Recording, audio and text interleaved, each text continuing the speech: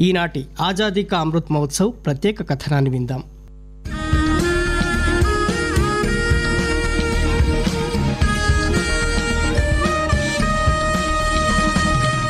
సామాజిక సంస్కర్త బెంగాల్ సాంస్కృతిక విప్లవానికి ఆద్యుడైన రాజా రామ్మోహన్ రాయ్ పదిహేడు వందల డెబ్బై రెండు సంవత్సరంలో మే ఇరవై రెండో తేదీన జన్మించారు. హుగ్లీ జిల్లాలో జన్మించిన రామ్మోహన్ రాయ్ తన పదిహేనవ ఏట నాటికే బంగ్లా పర్షియన్ అరబిక్ సంస్కృత భాషలు నేర్చుకున్నారు. అన్ని రకాల మతపరమైన ఛందసం మూఢనమ్మకాలను ఆయన వ్యతిరేకించడంతో కుటుంబంతో ఆయనకు భేదాభిప్రాయాలు ఏర్పడ్డాయి. ఇల్లు విడిచి ఆయన హిమాలయాల్లో విస్తృతంగా పర్యటన చేశారు. కలకత్తాలో ఈస్ట్ ఇండియా కంపెనీ రెవెన్యూ శాఖలో పనిచేస్తున్న రాజా రామ్మోహన్ రాయ్ పద్దెనిమిది వందల పద్నాలుగులో ఆత్మీయ సభ ఏర్పాటు చేశారు. మహిళల హక్కులు ముఖ్యంగా వితంతువులు తిరిగి వివాహం చేసుకునే హక్కు ఆస్తి హక్కులతో సహా అనేక హక్కుల కోసం ఆయన పోరాడారు. సతీ వ్యవస్థను బహుభార్యత్వాన్ని కూడా వ్యతిరేకించారు. మహిళల విద్యకు ఆయన మద్దతిచ్చారు. పద్దెనిమిది వందల ఇరవై ఎనిమిదిలో రాజా రామ్మోహన్ రాయ్ బ్రహ్మోత్సభ ఏర్పాటు చేశారు. పద్దెనిమిది వందల ముప్పై ఒకటిలో రాజా బిరుదు పొందిన రాజా రామ్మోహన్ రాయ్ పద్దెనిమిది వందల ముప్పై మూడులో బ్రిటన్ సందర్శిస్తున్న సమయంలో మెదడు వాపు వ్యాధితో మరణించారు.